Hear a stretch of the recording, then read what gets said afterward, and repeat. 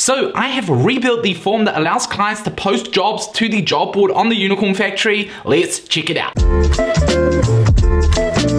Welcome back to the channel. If you're new here, my name's Connor. I'm the founder of the Unicorn Factory, a freelancer marketplace in Canada and in New Zealand. So on this channel, I share tips and tricks on how you can build your own no-code marketplace using the same tools that I use to build the Unicorn Factory. So one of the big items on my to-do list for this quarter for the Unicorn Factory was to update the form that allowed clients to post jobs to our job board. So up until now, I have been using Webflow forms to collect all the information that a client wanted to post to our job board. But since we are now getting a lot of job postings every single month, I've decided that I wanted to switch away and use a different type of form builder that allows me to collect payments. So Webflow has done the trick up until now. There are definitely a few little limitations, but just in terms of getting something out, Webflow was perfectly fine. But now it's time for something new. So after weeks of researching all the different form building tools, talking to different people in the no code space to figure out what tools they use and what limitations they run into, I have finally committed to a tool that I now have used to rebuild the form that allows clients to post jobs to our job board. So before I get into what tool I chose and by what criteria I chose that tool,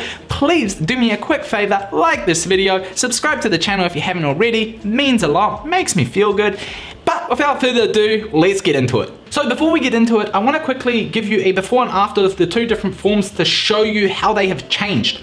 So right now we're looking at the listing form on the Unicorn Factory New Zealand, which is still the old form. I'm going to be keeping that there for a bit to see how two types of forms differ in terms of conversions. So I built this entire form using Webflow forms and it really has done the trick. It's allowed me to do things like drop downs, mostly text field. Um, I haven't been able to collect um, rich text, but um, just the way that clients would fill out the project description form would work perfectly fine. And this has really worked in terms of what I've been trying to achieve with the site up until now. So uh, a big limitation that I ran into and why I ended up deciding to research different tools is that there was no real easy way to take payments using this form. I did have a little look into Webflow e-commerce, but the work involved with it just didn't seem worth it at the time. So I decided to opt for a new form builder and the tool that I chose for the new listing form is Jotform. So Jotform um, won the race I'm gonna go into details as to what other options were out there and why I ended up going for Jotform, but I just wanna start off by giving you a little bit of a tour through the new form. So the form has conditional um, visibility, which means when certain fields are clicked, you can display or hide certain elements, which is quite a fun little feature to have.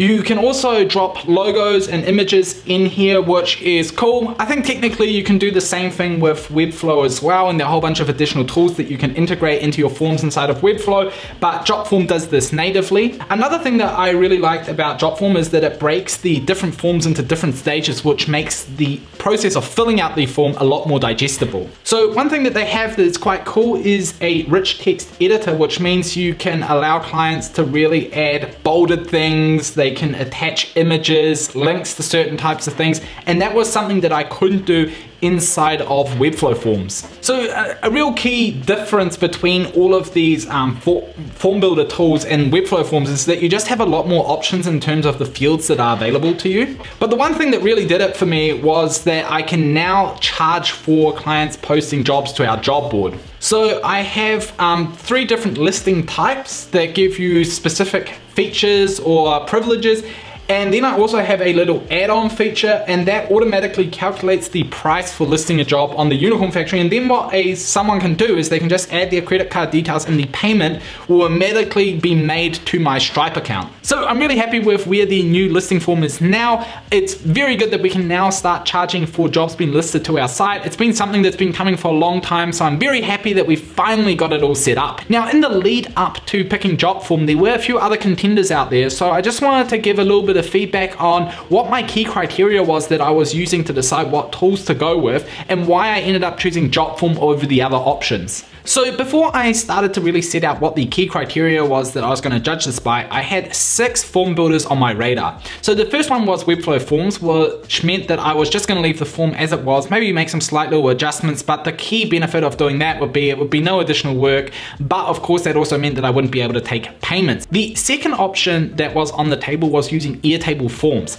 Now the thing that I love about Airtable Forms is it integrates directly into your um, Airtable base and and that is really good. So I use that for the freelancer application form and what makes that really good is all of the information that a freelancer submits is automatically in the correct format inside of my Airtable table. Now again, the problem with Airtable forms was that I couldn't integrate payments and I also couldn't really customize any of the branding which was another factor as well. That left me with the classic standalone form builder tools which were Typeform Jotform, and then I also looked into two more tools which were called Tally and Paperform. So whenever you use no-code tools to build certain things, you're always going to run into limitations one way or the other. So one thing that I always recommend doing is setting out a list of your top priorities in terms of what you want your tools to do. So in my case, the absolute top priority was to be able to take payments. So that automatically removed Webflow forms and Airtable forms, but all the other tools were allowing me to take payments. The second thing that was incredibly important was having a good Zapier and Airtable integration. So all of the remaining tools have their own native Zapier integration and some of the tools even have a native Airtable integration. So one of the things that you can do with Jotform is whenever a form is submitted, you can automatically send that data to Airtable without having to go through an automation tool like Zapier or Integromat. And then the final criteria criteria was just to have a look at how much flexibility I had with the branding and the styling of all my different forms and how I could embed it into my website. So pretty much all of the dedicated form builder tools did what I really was looking for. So what I then decided to do was to see how easy it would be to learn all the different tools. And so what I did was I jumped onto YouTube and I saw what kind of tutorials were already available. And then I also had a look into the template gallery to see what kind of templates I could use as a starting point. So obviously Jotform and Typeform are probably the two main form builder tools that are out there. So they had a lot more YouTube videos available. The template galleries were a lot bigger. So I decided to narrow it down to those two tools. So because Jotform was a bit cheaper than Typeform, I decided to give them a try first. And as soon as I started using it, I started to discover that the whole process of building a form and styling it was a lot easier than I had initially anticipated. So another thing that I discovered with Jotform that was quite cool is they have these widgets that you can embed into your different forms. And I believe that those widgets are created by their customers. So you have a whole bunch of add-ons that you can add to your form that allow you to solve for a whole bunch of use cases. One of the widgets that I discovered was a payment widget that allowed you to collect payments through Stripe. And that again was one of the key criteria, so that was really good. One thing that I discovered though was when I started working with those widgets, it got a bit complicated when it came to setting up custom formulas. So luckily I found someone online who was willing to help me with my job form and basically set up the payment form as I wanted with the three different listing options and the add-on field. So once that was set up, I really had the form at the state where I was kind of wanting it to go. So I was already feeling quite committed to it. But then one thing that really pushed me across the line was the one day discount that they offer you when you start your trial, which basically means that they give you something like a 30 to 50% discount if you commit to their annual plan on the day. Jotform was already quite cheap, so I decided, you know, that little sweetener made it even easier to commit to it for a year, so I ended up upgrading, so I guess now I'm committed to Jotform. So one of the things that I was also looking for, which was just really a very, very nice to have that was completely unnecessary, was to have a way to use all of the fields that I have set up inside of Airtable as a dropdown inside of a Jotform. Now that is not natively possible inside of Jotform. You can however use a tool called On2Air which integrates with Jotform that allows you to pull those values out of your Airtable tables into your forms. Now when I did my research that tool was pretty expensive in my opinion. However, it is something that at least gives me options for the future. And if the job board generates a lot of sales, then that might be something that I'll look into as well. So besides all of those things that make Jotform really good, I also discovered a few things that I was struggling with a bit and a few limitations with the tool that I want to address in case that factors into you deciding what form building tool you want to use. One example of that is the project description field where I allow my clients to add rich text.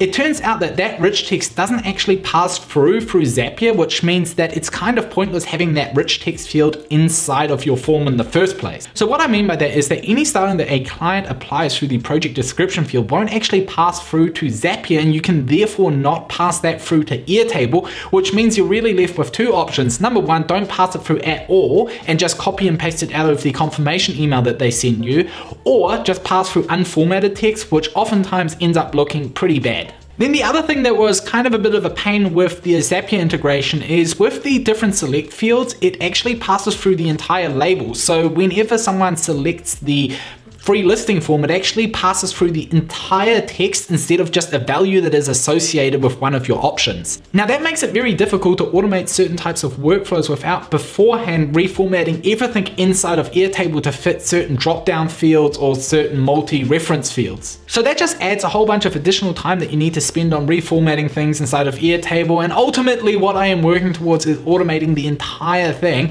So I hope that that is something that gets addressed in the future so that I can then integrate it into Airtable a lot cleaner so that I can then start setting up workflows that allow me to basically run the job board side of the business on autopilot. Overall though, I think it was a very good decision to switch over to Jotform to replace the old classic Webflow forms and to now be able to take payments that will create additional revenue streams for the business. I am, however though, still keeping my options open, so if you have any suggestions for any other form building tools, then please let me know in the comments down below. I'm happy to try out a whole bunch of different ones, and I feel now that you know what my key criteria is and what I'm looking for and what the use cases that I'm solving for, you might know of a tool that is a better fit than Jotform. Other than that, thank you very much for sticking around for this video. I hope it was useful. If it was, please smash the like button, subscribe to the channel, all those fun things.